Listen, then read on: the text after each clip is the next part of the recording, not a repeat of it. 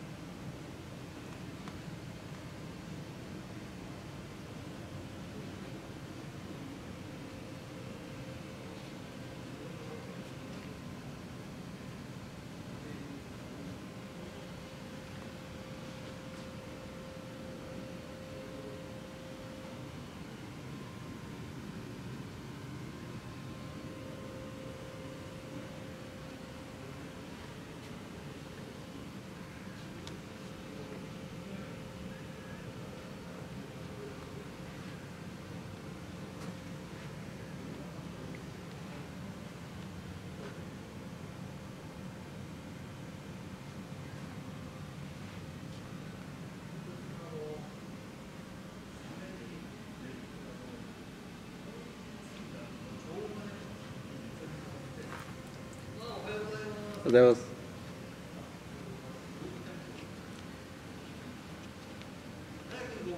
あ、どうも。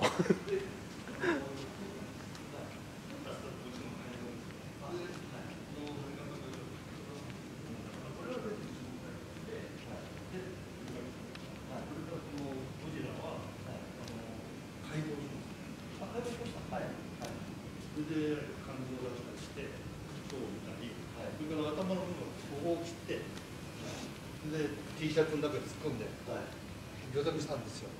でそれを黒地のうーシャツに銀色でやったの。えで釣り針もやって。あ。こうしたらばあのー長谷川さんが気に入っちゃっててそこにジャムステックの藤原さんたちの5人あ ,5 人のグループがええ。船に乗ってええ。採取した時には「い。いいないいな」って言ってそしたら長谷川さんがね「おい山本悪いんだけどさあの T, シャツなあと5枚作ってくれよ」っての。で長谷川さんその時にこういう私はスクリーンプリントやってると思ったらしいだから簡単にできるもんだろうと思って、うんうんうん。ね、藤原さんのグループにはい。やってやる。プレゼントしちゃってくれよいいですよ。私はそれで受けて。はい。作った、はい。で本当に一一匹一匹。はい。いや顔がみんな違うの。一つ一つ。うん。それでこの間その話したらそうだったのかって。全部あのオリジナルか。ああそれは知らなかったそうですね。こっちは分かんないですからどう事情がね。うん藤原さんがね、あのー本当はここに見える国標があったの。だけどまだね戻ってないから外洋へあがやつうん。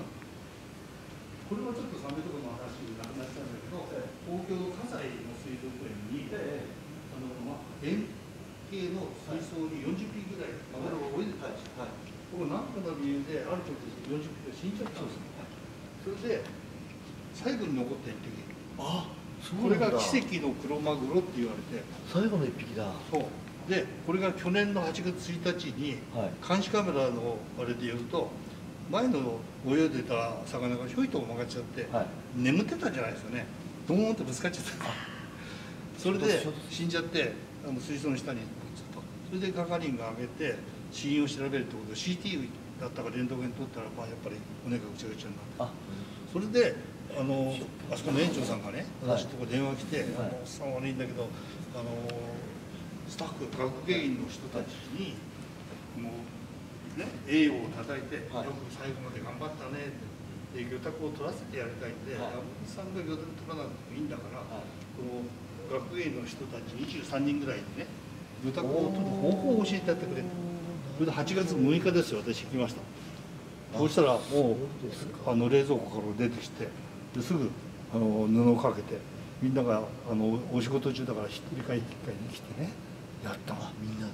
よかった。みんなも喜んでくれて。へそれで共同作品として原画は水族館に寄贈してこれはそれのコピーなんですけどね、そうなんですか、いい顔してましたよ、ですね、あれ田畑さん？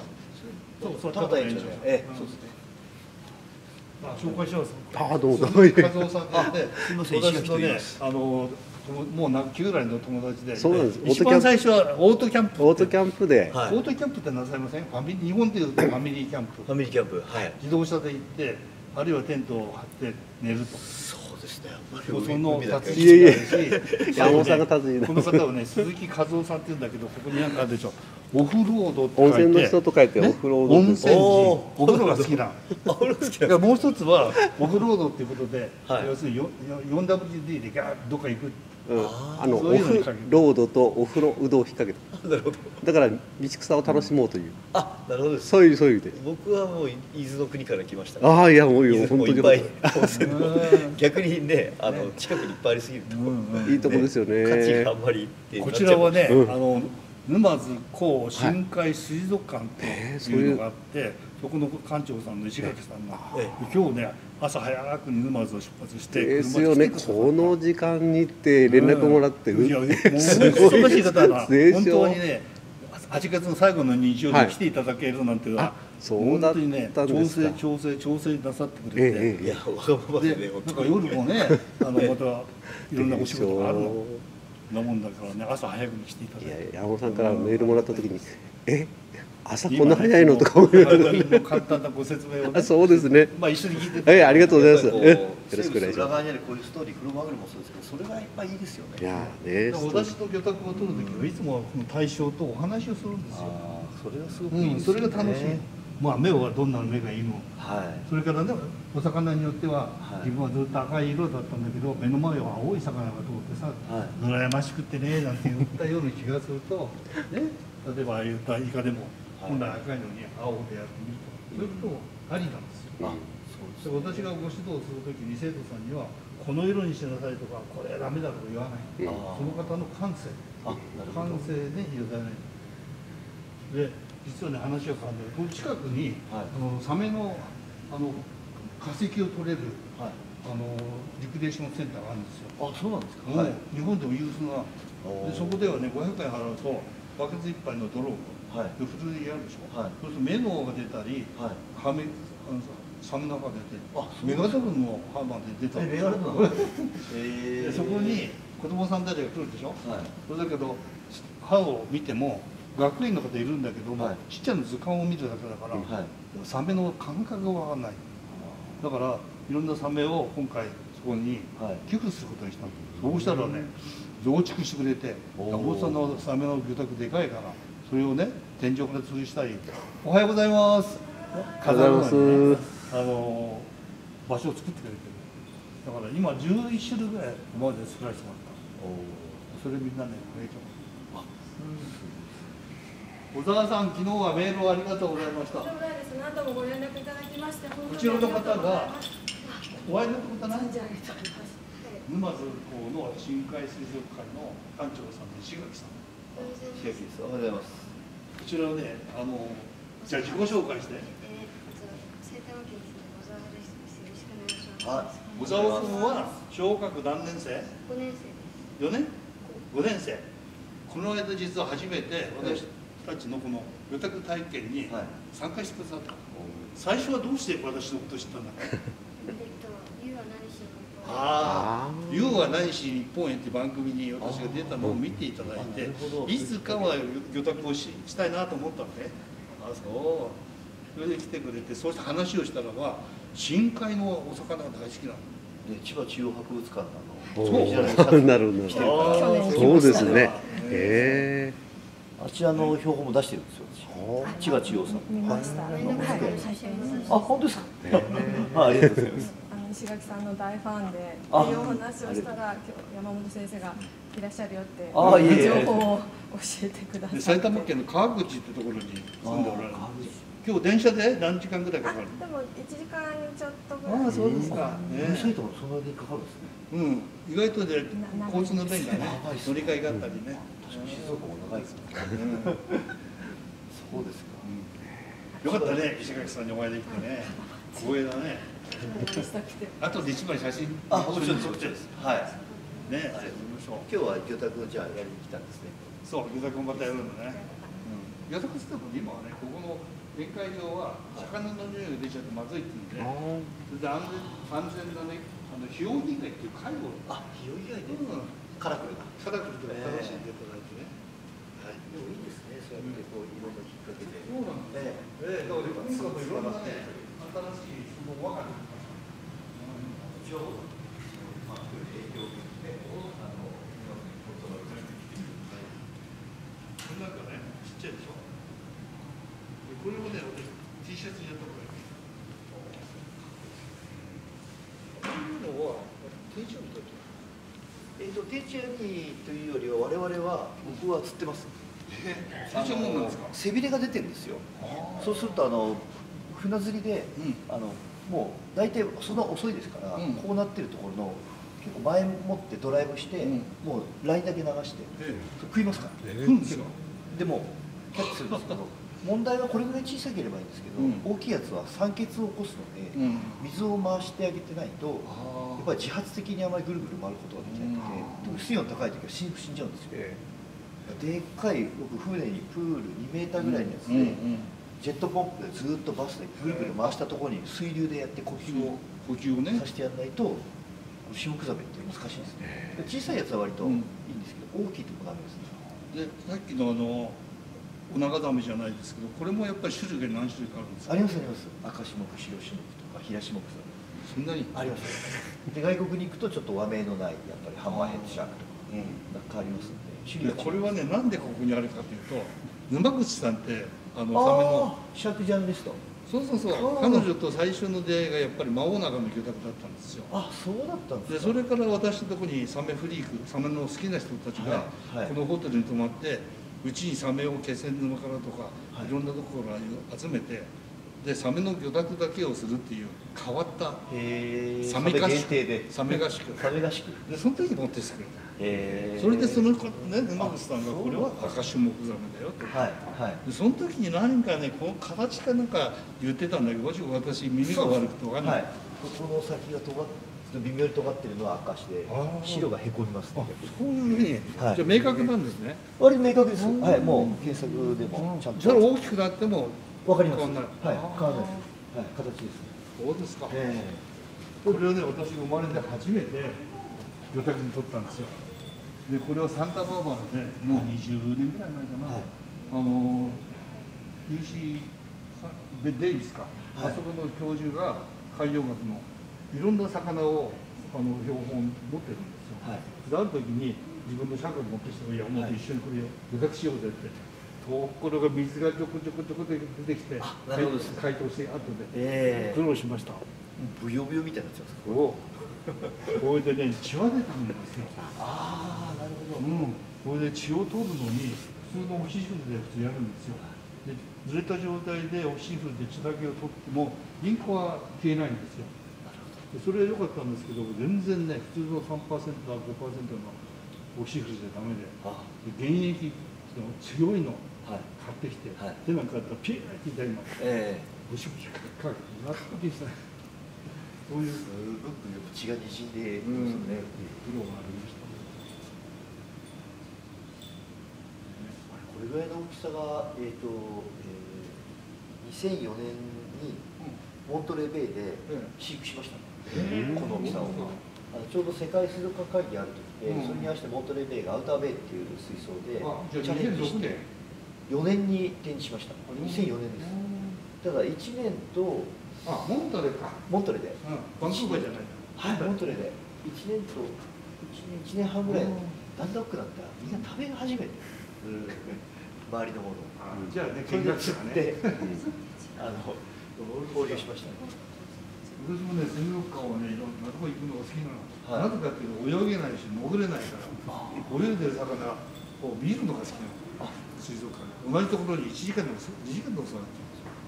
だからボンタレー行った時あそこの時ちょうどまだマンタがでかいのがいました、おうん、で大きすぎてもう海に戻したらしいそうですねあそこはあのモンタレベイの行くとピアっていうのがなんかあってあはいあそこの絡まりが好きでね絡まりがそうシーフードいいですよバンクーバーはあの副館長さんうちにも来たことあるんですよ、はい日本人の方はいおあのその方が、えー、拓司拓司さんお太田大谷さんかなんか大た拓司さん拓司さんと動いてるんですよ。ああの方がもう辞められて辞めたの？25年いたのかなあらまあ。で先月日本に帰国して、ええ。お父様を見なきゃいけないって神奈川なんですよ。そうなんですか。で帰国して、うん。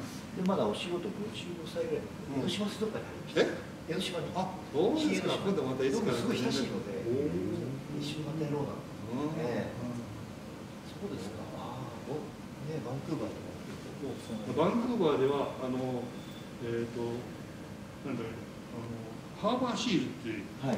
でレスキューがあるんですよね、はい。あそこね,、はい。そうですね。で傷ついたり病気の子はそこで治すじゃないですか。そうです。と残念ながら死んじゃった。のえ。でその時ちょうど私があのブリティッシュコロンビア大学講演会やったりしてて、でそこの先生が連絡を受けて「おいなんか死んじゃったんで、ね、スタッフがかわいそうだから俺魚だけ取ってやってくんないか」えはい。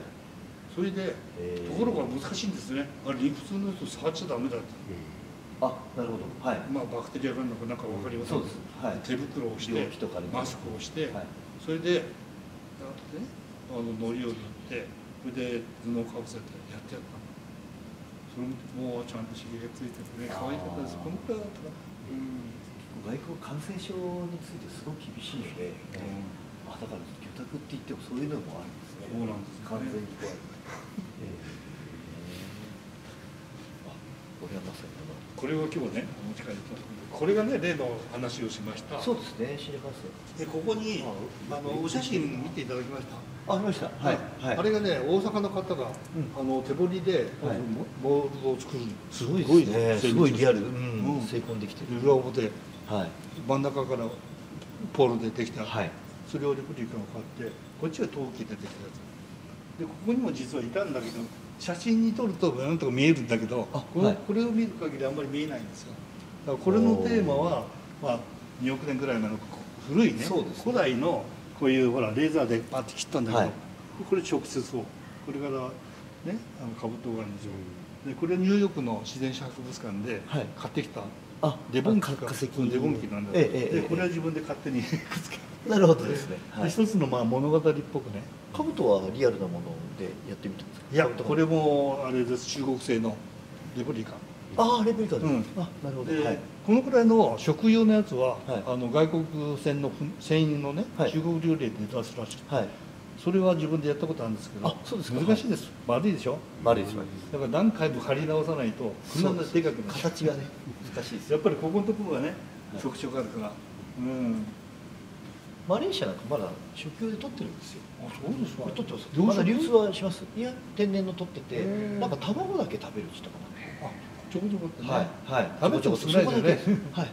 殻食べないしね。食べないです。うん。だからこれもあのぜひ同棲させていただきたいんだけど全然いい加減かもしれません。柄とか。いやいやあのすごくうん出てるので、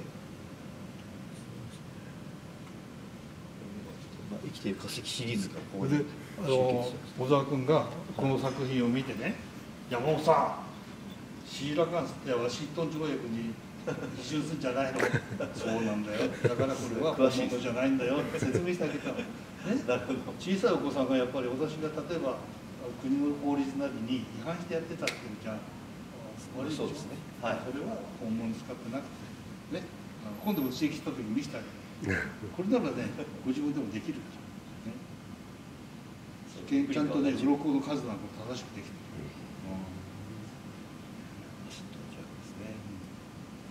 今9時でしょ？じゃあ早速積んだ方がいいと思うんですよ。あそうあそうか始まりますか。で1枚だけ写真を。えええみんなで一緒に撮りましょうか。あのねカメラがここにあるから1枚これで